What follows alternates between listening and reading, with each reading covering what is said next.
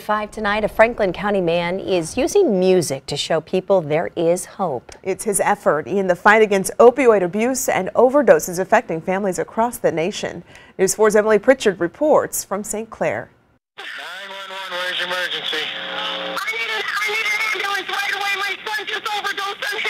It starts with a desperate call for help. Someone you may know has been affected by this epidemic in one way or another. I know we won't never be able to change the past, but we can learn from it and affect the future. Then you hear Jake Thompson, whose stage name is Banks. One of my buddies, he had overdosed, I think, probably four times just this last summer. Thompson knows how opiates and addiction are plaguing communities like where he lives in Franklin County. That is why he wrote his song, Black Balloons.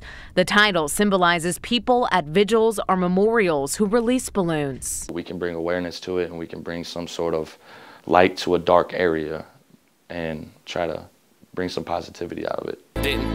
Didn't think that this would ever happen, but I was way wrong. The paramedics saved me though before I was for real really gone. According to the Multi County Narcotics and Violent Crime Enforcement Unit, which covers Franklin, Lincoln, and Washington counties, they've responded to 24 overdoses so far in 2019. Six were fatal. Their spokesman says fewer people are dying now because of officers and the public using Narcan, which can revive a person who overdoses. Opiate overdoses in America are statistically at an all time high. He wrote the song here at his home in St. Clair. It's only been released for a couple of weeks and it's already reached across the globe.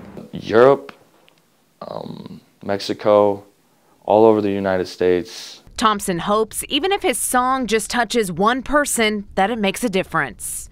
I just want everybody to know that you can do it. You can get over the addiction. You can get past any kind of roadblock you got in your way to be what you want to be in life. Reporting from St. Clair, Emily Pritchard, News 4.